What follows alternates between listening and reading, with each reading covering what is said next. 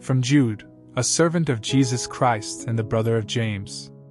To all who are chosen and loved by God the Father, and are kept safe by Jesus Christ. I pray that God will greatly bless you with mercy, peace, and love. My dear friends, I really wanted to write to you about God's saving power at work in our lives. But instead, I must write and ask you to defend the faith that God has once for all given to his people. Some godless people have sneaked in among us and are saying, God treats us much better than we deserve, and so it is all right to be immoral. They even deny we must obey Jesus Christ as our only Master and Lord. But long ago the scriptures warned that these godless people were doomed. Don't forget what happened to those people the Lord rescued from Egypt. Some of them did not have faith, and He later destroyed them. You also know about the angels who didn't do their work and left their proper places. God chained them with everlasting chains and is now keeping them in dark pits until the great day of judgment. We should also be warned by what happened to the cities of Sodom and Gomorrah and the nearby towns.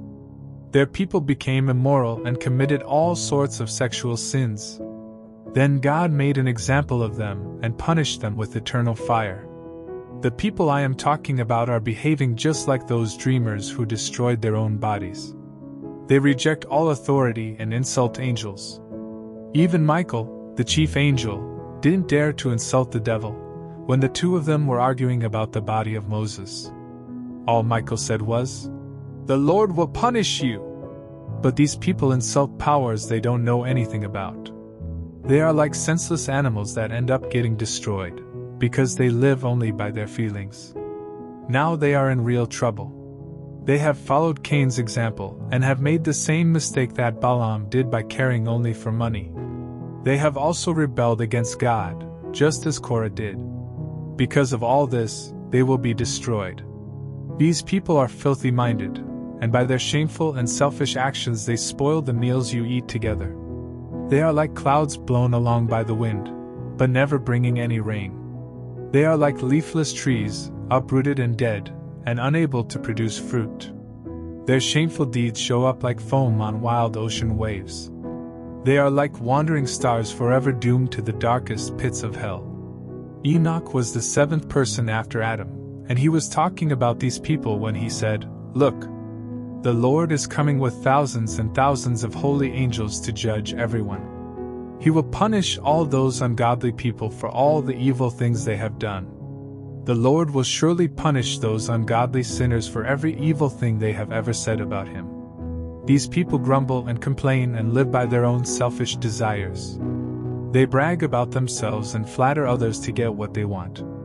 My dear friends, remember the warning you were given by the apostles of our Lord Jesus Christ.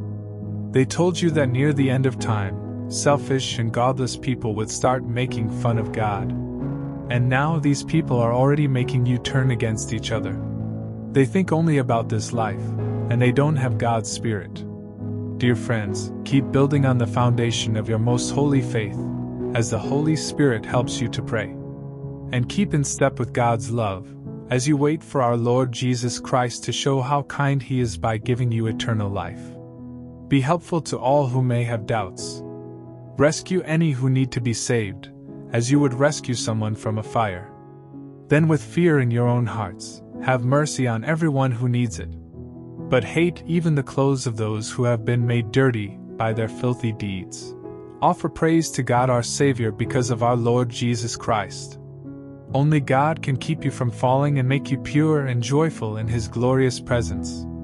Before time began and now and forever, God is worthy of glory, honor, power, and authority. Amen.